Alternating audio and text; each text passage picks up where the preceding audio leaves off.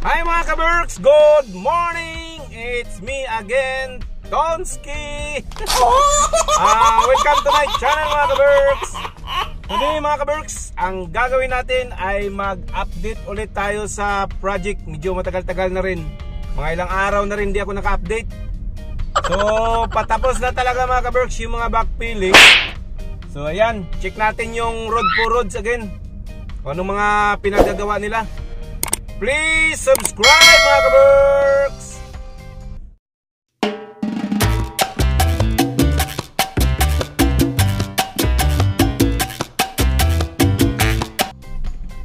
Ayan mga kaberks oh. Tingnan nyo.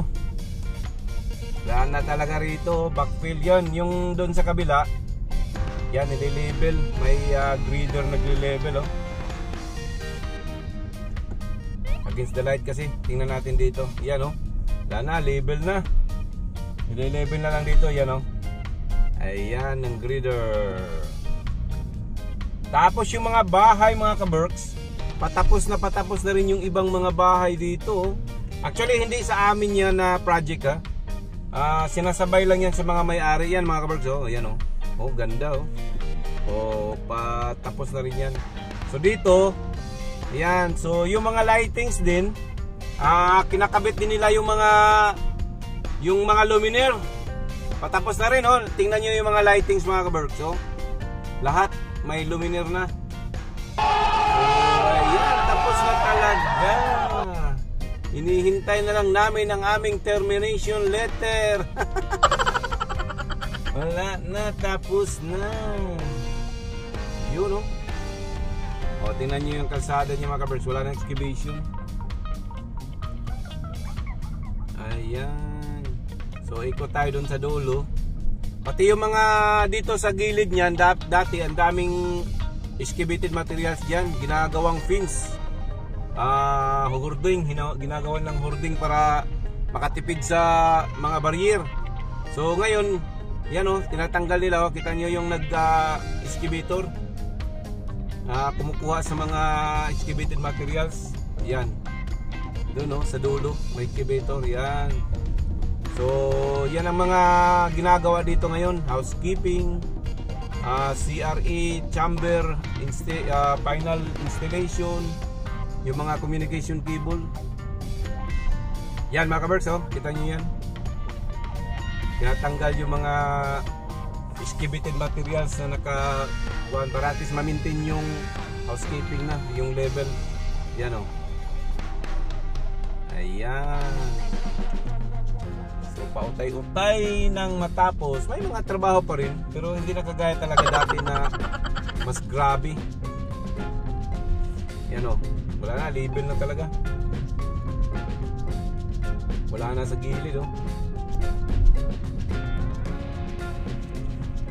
Ayan, ayan, ayan. Dito o,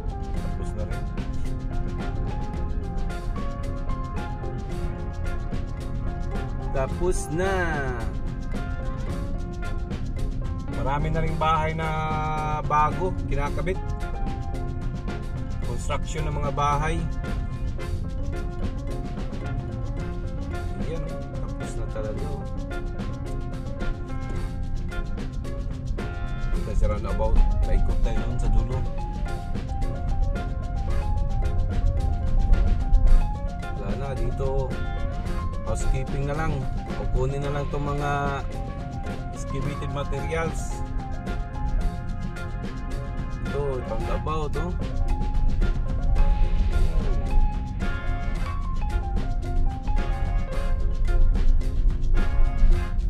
Yan. Oh. Dito tayo sa kabilang bahan pa rin din na tayo. Kasi sarado dun sa dulo eh. Yan oh. Walang tao. Saan yung mga tao rito? Baka na doon sa ano, sa Zone 5. Meron pa kasing ginagawa din doon. Zone 5. Ayan oh. Tapos rin dito, oh, pati yung mga access road. Pero kailangan pa to ng ano mga kaberks, final layer dito. Kasi umuusli pa yung manhole oh. So pagpasensyahan nyo lang muna yung mga video ko mga kabergs ha. Ah, kasi for filing din sa akin to. Para at least pag wala ng trabaho at tumatanda na, makikita natin yung progress ng ating site na pinagtatrabahuan, di ba? Tingin-tingin din din kayo, baka may plano kayong mag-abroad.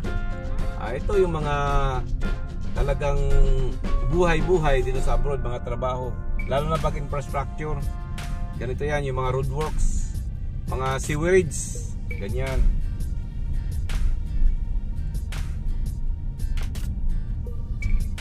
So, yan dito, ano din, wala na rin dito. Backfill na rin yung gilid, oh. So, parang nagla, ano lang tayo dito, nag road trip. wala na mga trabaho. Saan kayo mga libo? Ayun, no, mga labor, oh. Gumagawa lang na mga pakunti-kunti dito. Yan, yung mga level-level na kunting level-level. Dito, tapos na rin dito. oh. Mapakunting trabaho na lang din, oh. Yun. Ah, mayroon dito sa ano, yung CRA. Ayan, oh. Yan dito mga kabarks, tingnan nyo yun, oh. May naghuhukay ng kunti. Pero mostly, tapos na talaga. Yun, yun, yun.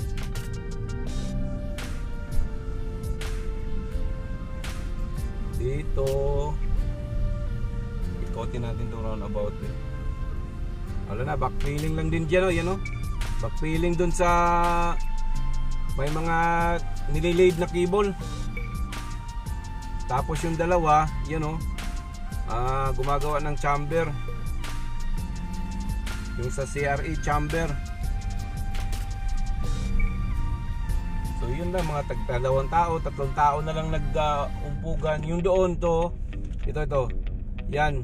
Ah, street lighting excavation yan mga kaberks oh. Maglilay ng cable diyan para sa street light.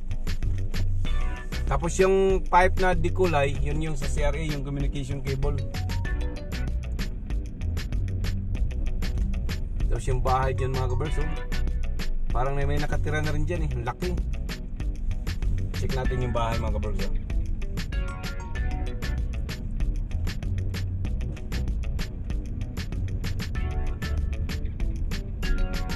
Yan mga kabers, oh. Laki oh. Yung bahay. So dito, oh, tingnan nyo mga kabergs, oh. Dami to excavation yung nakaraang week. Ngayon, oh, wala na. Mayroon na lang naiwan dito sa gilid. Tingnan natin ha. Yung ah, CRA installation, yung chamber. Yan oh. Dito, yan oh. Yan na lang naiwan. Dati may excavation to dito last week. Yan na lang, yan na lang. Oh. oh. Installation of CRA, yan oh.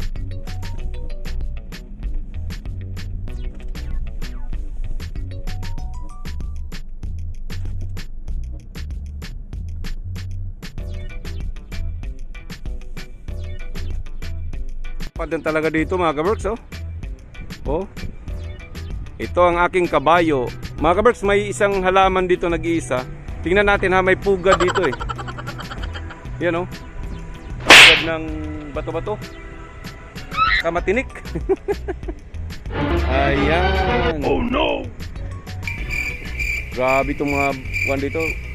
Talagang inaalagaan itong mga puno eh. Delikado pag pinuputol. Mayroon pa isang puga dito sa lalim oh. Yan oh. Pero wala nang itlog. So grabe ang tinik nitong puno na to. so ikot tayo mga kabers, ikot.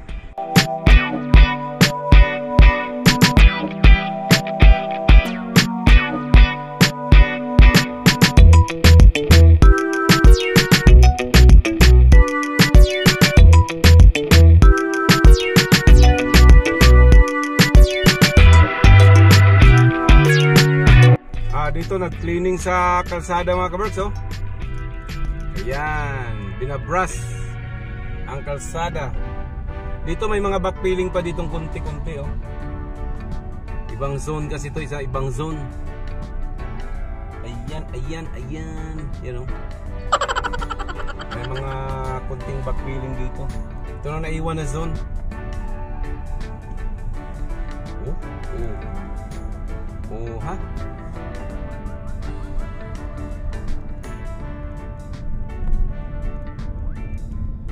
Dito may malalim pa rito. oh. Ay, hindi naman sobrang lalim. Ongoing backfilling din dito. Ayan, ayan.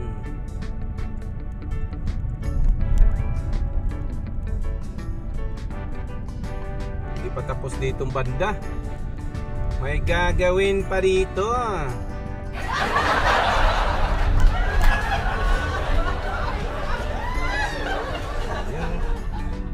Tapos yung mga bahay dito mga kaberks, oh, ongoing construction, oh. Ongoing construction. Grabe talaga yung area rito, no? Yung buong area.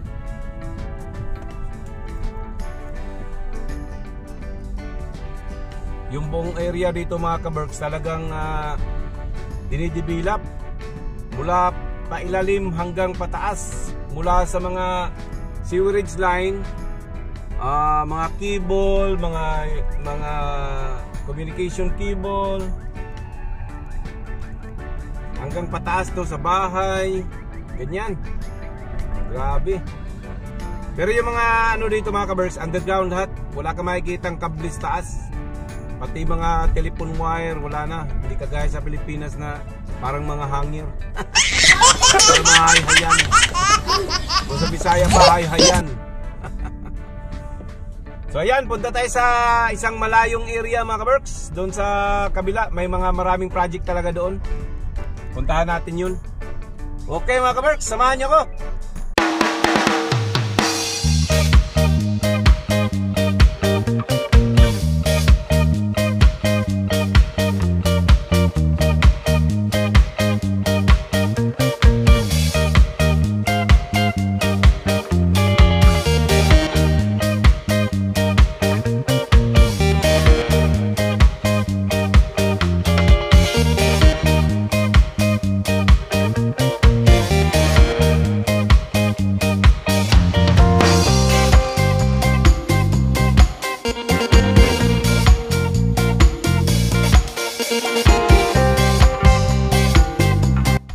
Dito sa malalayong project mga kaberks Di- Dito ang medyo marami-rami pang trabaho.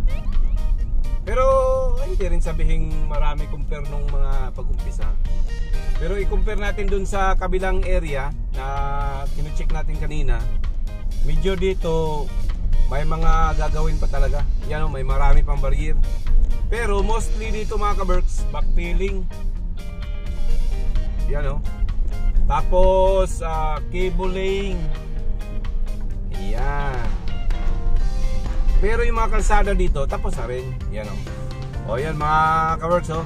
Yung gilid-gilid, may mga backfilling pa needed. Ayan. Pero malayo to na ma- malayo to na area. Malayo to dun sa isa nating project. Pero kasama to. Kasama to sa project niya mga kaworks na hiwalay lang siya. Yan oh. Tapos may mga bahay-bahay na rin ditong uh, dino-construct. Yan oh. Pero hindi pa talaga sabing tapos. Yan, tingnan nyo, puro construction pa. Ito, itong sa harapan natin, medyo may nakatira na yata dyan kasi may mga ilaw na eh. Pero malaking posisyon yan sa government dito. Yan. Yan dito mga kabers yan oh, mga CRE chamber yan. May nag-excavate pa dyan sa gilid. Yan ang mga ginagawa na lang na iwan dito. Ayan. Tapos ikot tayo rito sa kabila. Tingnan natin kung mayroon pa yan oh. Yan oh, may mga barrier pa sa gilid mga kaberks. Ibig sabihin may malalim pa dyan. Not so malalim but still needed barrier. Dito eh. Tingnan natin. Yan oh. O, tingnan yung mga bahay mga kaberks. Ongoing construction pero hindi gaano karami dito. Hindi kagaya dun sa kabila na medyo puno na ng mga bahay, under construction bahay. Dito, marami pang area na wala oh. Pero doon din papunta yan. Mapupuno to ng bahay in the coming months. Kasi sabay-sabayan sa kalsada namin. So ayan mga kaberks. So dito marami pang trabaho dito mga kaberks. Oh. Ayan oh, dami pa oh.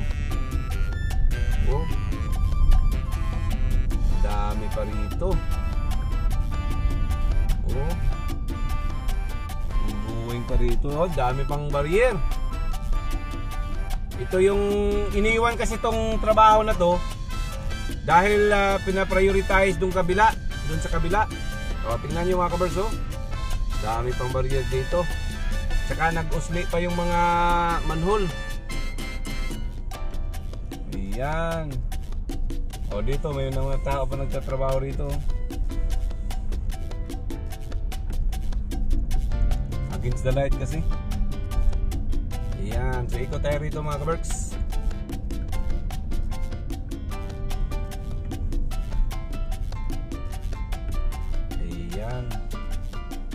So marami pang trabaho dito.